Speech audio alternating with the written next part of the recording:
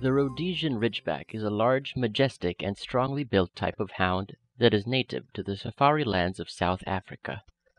For centuries the native tribes kept with them a ridge backed dog breed that had been used as a hunting companion and watchdog.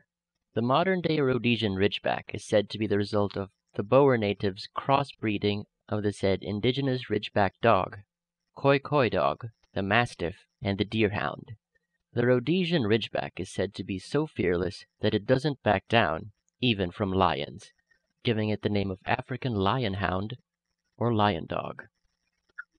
The breed's name, Ridgeback, comes from the appearance of a symmetrical ridge running along its back. The ridge is made prominent by its growth, which is in the opposite direction of the dog's overall coat.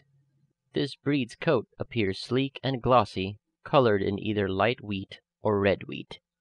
Because this dog originally came from the south of Africa, it can live in harsh conditions, such as extremely high temperature and with little food and water.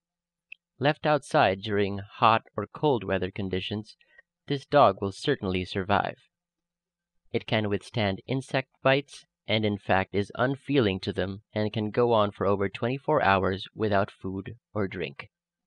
This breed is inarguably fierce when hunting, but inside the home it is steadfast, soft hearted, and obedient.